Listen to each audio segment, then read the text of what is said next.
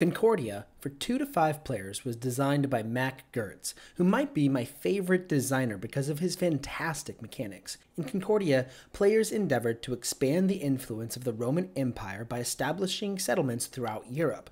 Gameplay is card driven, but in a way that eliminates the luck of the draw. Instead of drawing cards, players hold all of their cards and on their turn may play any one of them. The cards remain on the table, unplayable, until a player decides to use their turn to pick up their cards. The best player will often be the one who can string together a long sequence of valuable actions before picking up their cards. The cards also double as a mechanism for scoring. More cards are purchased in game, and each card attributes points for different achievements.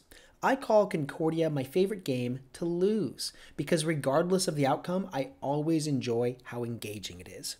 For board game reviews like this one and more, check out my web app at theperfectboardgame.com.